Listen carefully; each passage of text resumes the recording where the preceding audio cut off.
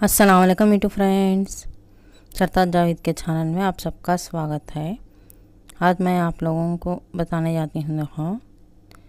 पकोड़े है ये ऑनियन पकोड़े। ये कैसे बनाना है कि पूरी वीडियो स्किप करने सर का वॉच करो। मैं कैसे बनाऊँ क्या आप लोगों को मालूम होता? अच्छे हैं, देखो। लुक वाइज भी अच्छे हैं टेस्ट भी अच्छे हैं। इसलिए आप लोगों से शेयर कर लेती हूँ। हम पे एक बोल लूँ, देखो। उसमें थोड़ा करे करेपाकू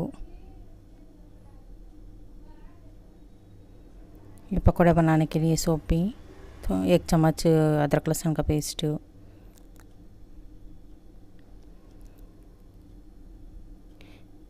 एक आधा चम्मच ब्रिक नमक।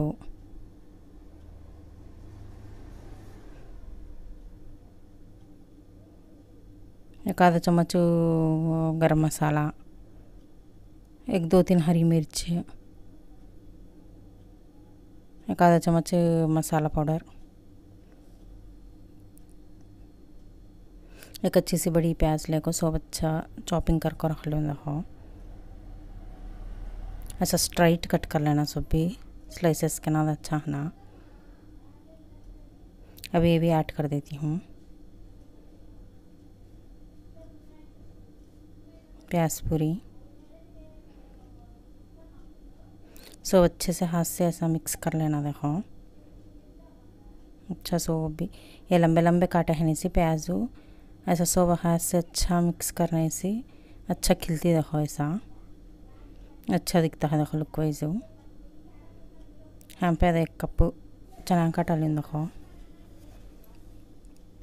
तो थोड़ा पानी डाल लो। सब अच्छे से मिक्स करती हूँ देखो। जरा खट्टू छना पकड़ने का बैटर। अरे अच्छे से मिक्स होगा देखो सोप तेल गर्म ही तक एक पाँच दस मिनट अच्छा सो वो मैगनेट होने के वास्ते रखना। पकड़ने का बैटर। दाल अच्छे से हीट होने लगा देखो। अब ऐसा पकौड़े डाल लेना। हल्लू हल्लू छोड़ लेना तेल में ऐसा।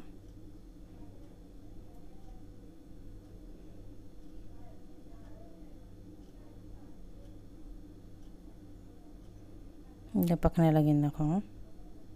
तेल अच्छा हीट होना। डालते तो ऐसा ऊपर का आया थी पकौड़े। अच्छा क्रिस्पी है ना नहीं? ज़रा फ्लेम खमा ले को लो एंड मीडियम के बीच में रख ले को फ्राई कर लेना। ये पकौड़ा में आटा ज़रा कम मीचू प्याज की क्वांटिटी चेर बढ़ला की है ना। अच्छा कलर चेंज होगा देखो। अच्छे क्रिस्पी दिखती हैं, देखो। अच्छा तो रोस्ट हो गई देखो सब भी अब एक प्लेट में काट लेती हूँ।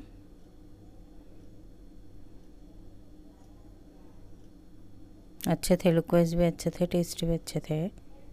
पकौड़े क्रिस्पी है दोस्तों अच्छा टेस्ट आने का। अब फिर डालता हूँ, देखो। ऑयल अच्छा हीट होगा फिर से मैं सस डालती हूँ पकौड़े। ये तेल अच्छा हीट होने से देखो, डालते साथ ही ऊपर का अच्छा आ जाती हूँ। ऐसा अच्छा ऊपर का आती हूँ ऐसा थोड़ी देर ये भी लो एंड मीडियम फ्लेम में रख ले को फ्राई कर लेना। ये भी अच्छा गोल्डन ब्राउन कलर आ जाना देखो। लुक वाइज जब पीछे अच्छा क्रिस्पी दिखना देखो। अच्छा क्रिस्पी ही है तक अच्छा फ्राई कर लेना। अरे अच्छे से फ्राई होता है, देखो। ऐसा चू अच्छा। को ज़रा कच्चा है जो ना ऐसे टर्न कर लेते फ्राई कर लेना इक्वल सी। ये कलर चेंज होगा, देखो। अच्छे से पक गई।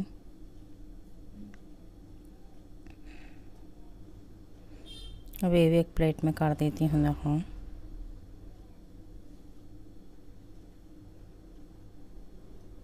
अरे पूरे लें देखो